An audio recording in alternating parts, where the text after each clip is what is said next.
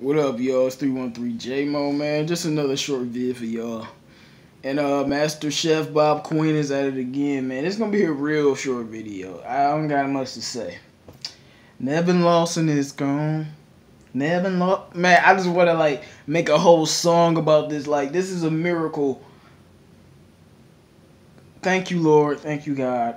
If you ever doubted God in your life, the fact that Nevin Lawson is gone should prove to you that there is a God. I remember I told y'all last year, if you watch my videos, I told y'all that we weren't going to be shit. I literally told y'all, as long as Nevin Lawson's on the team, we won't be able to succeed. Because when the second an- anchor to your, uh, you know, your, your second corner is as bad as he is, the teams can always just throw to him to get out of any pinch. And Nevin Lawson brought the team down. He lost us a lot of games. He made our secondary weak. Honestly, he didn't really help us. And I don't know why he stayed on the team so long. He never got an interception in his career. He just got his first turnover a couple years ago. I mean, all around, he was just a completely average cornerback that did nothing but get pass interference calls and not get picks. Like if you if you're not gonna get no interceptions, man, if you ain't gonna turn the ball over, then you need to be great in coverage, and that's something that Nevin Lawson wasn't. Now, us getting rid of Nevin Lawson uh, gives us about four million, four million in cap. We only got to pay uh, the dead cap is one point three, something like that. So, which means that it's only gonna cost about around one million to cut Nevin Lawson, and then we get four million for our cap. Well, I think they believe in Wick Ragnar. I really don't, but he he might be on the chopping block. Theo Riddick is definitely next. I told y'all you got to get rid of uh, Nevin Lawson. Theo Riddick time for you to go. They're gonna get rid of all this dead money. Now it's something I want to talk about. Anthony Barr. Now, one thing I know about the Lions is you never hear any information about the Lions when it comes to trades or anything. Then all of a sudden you hear we're aggressively going for Anthony Barr. I'm gonna tell you something. I think the Lions are actually going to get Anthony Barr. Now, do I want him? He's an upgrade over who we got, but he is questionable in coverage.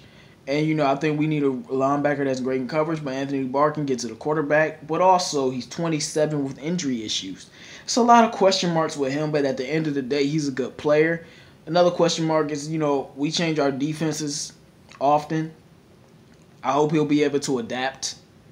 I hope he'll be able to, you know, adapt to our defenses that we change up and hope he'll be able to stay healthy. But I do think we're actually going to get Anthony Barr only because of the fact that you don't hear any news about the Lions. So when you hear something where that we're seriously going after somebody, we're probably going to get them.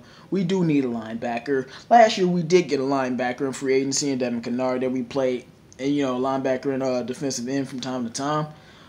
Um, Lions are making good moves, man. Master Chef Bob Quinn back at it. I'm telling you, the chef ain't done. The chef ain't done. He's still cooking. He's still cooking. Master Chef Bob Quinn is still cooking. The chef ain't done. The chef ain't done. It's 313 J-Mo, y'all. Uh, shout out to the Pistons, blew out the Bulls, man. It is what it is. Um, I actually told a lot of my Pistons fans I don't think we're gonna win the game tomorrow. Not because I don't believe in my team, but we've had a lot of games over this stretch with the Pistons. We had a lot, a lot of games, and I think it's finally gonna catch up with us in Brooklyn on the road. But I'll tell you something we go out and win this game, I'm gonna be very impressed and very happy with my basketball team. But you know, it's like a schedule loss. If you if you watch the, you know, sometimes it's just a schedule loss on your schedule, man. And this looks like one of those. But we go out and win. Oh boy, um, Lions are making big moves, Master Master Chef Bob Quinn, bro. He's stirring it, man. He gonna he gonna he gonna give us a five course meal.